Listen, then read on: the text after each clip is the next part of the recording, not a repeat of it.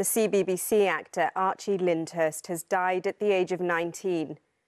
The son of the Only Fools and Horses actor Nicholas Lyndhurst played Ollie in the children's comedy show So Awkward. The channel said he'd be hugely missed by all who worked with him.